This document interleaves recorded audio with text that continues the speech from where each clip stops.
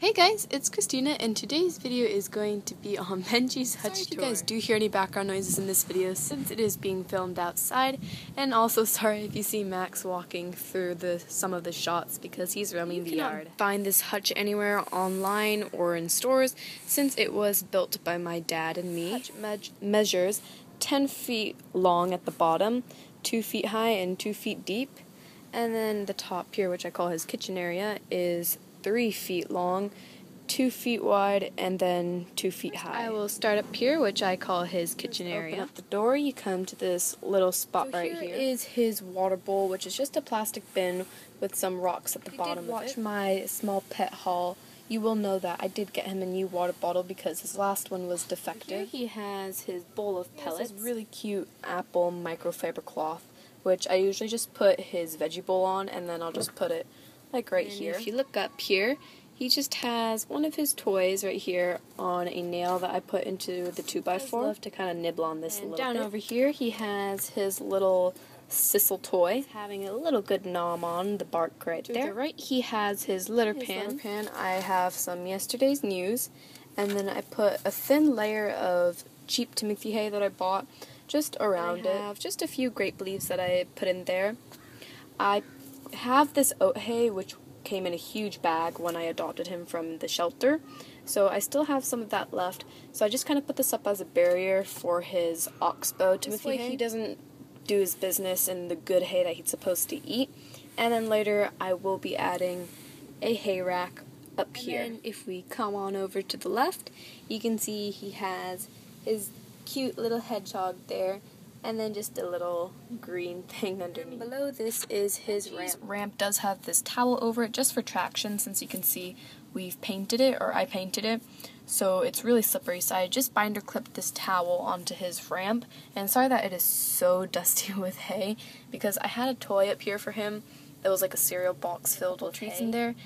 And then he pushed the box down his ramp so it got all over Anyways, if you guys do have any suggestions how I can keep this part of the towel up here on his ramp because it always slips down because as you can see I can't put a binder clip because of this 2x4. So if you guys have any suggestions on how to keep this up here, please leave them in the comments below and it'd be awesome if you have any and ideas. you guys can see Benji's having a nice nom on his grape leaves. Okay, now moving down to the first story. Here Benji has his little box which he likes to sleep in. his cardboard box he's got a cat toy which he loves to rattle.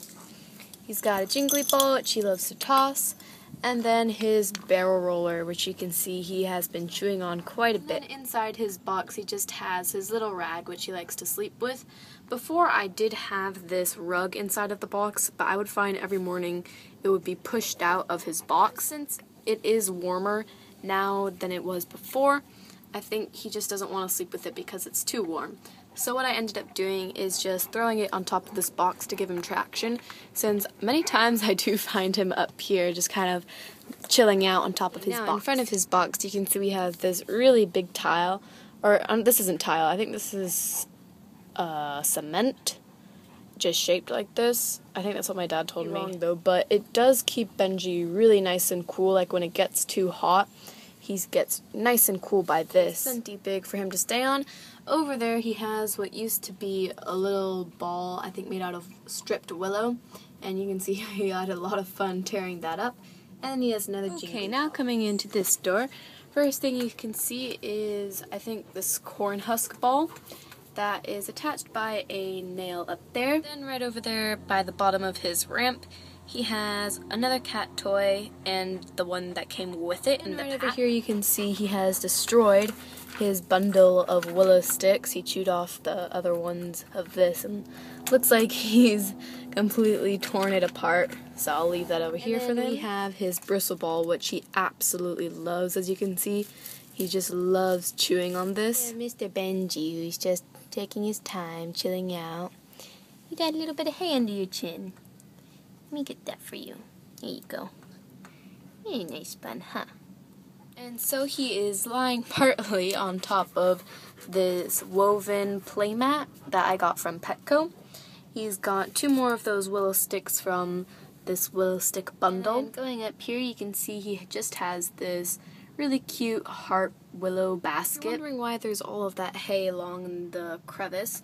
is because I used to have his litter pan down here just so that he could get used to his hutch and then just have his litter pan on the first floor so it's easier access but now that he's gotten used to it for about a week, I put it on the second story to see how it works. I would just put up his litter pan there this morning, and it looks like it's been working really well, so I'm really happy about that, because it's obviously a lot easier to get to his litter pan when it's on the second story. Then next to his woven playmat, he has his corn husk toy that I got for him from Petco, which he loves. Next to that, he just has this Tide box that I got from Costco, and he likes to just kind of have that upper step there for him to lie down on. And sometimes I see him push his toys underneath here, like you can see these two cat toys he pushed underneath. Here. And then above that is another one of his toys hanging from a nail I put in the 2x4 and it is just this pine cone toy from Petco and you can see he really likes the pine cones.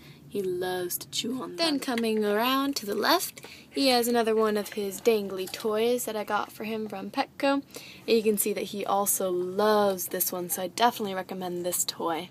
And then looking down from here, you can see he has this circle rug that is blue with white polka dots, which I absolutely love. And you can see, if you're wondering why all of these blocks are here, if you did watch my gigantic PetSmart haul, or no, Walmart haul, I think a few months ago, there was a toy in there that had like these blocks with woven stripped willow balls about this so big. Unfortunately, Max got a hold of that and then he just took off like the legs and stuff. So I just kind of took the leather and then I re-tied everything. So then I put one of the legs into Benji's cage and then he had a blast with it as you can see. He just tore it apart and then threw these around everywhere. And then you can see he has his green mat over here. I am planning to get him more mats because I have to say these mats are really awesome. They also provide him with a little bit more traction since this tile that I bought is a little bit slippery, so I do want to buy him more of these. Mats. And then the last couple things that we have in his cage are this ball that you can see he loves these balls for some reason. And his other one down here is also all torn up and whatnot. So he enjoys destroying these. And then the last thing is his giant nut nut nibblers. You can see I definitely recommend this toy for somebody with a small pet. I found that my other pets seem to like it, including my hamsters, and as you can see, Benji definitely loves it too. So yeah guys, I'll just give you guys a quick overview of his cage. And then here is a view from the other side. And then his kitchen area on the second story with some uneaten evening salad.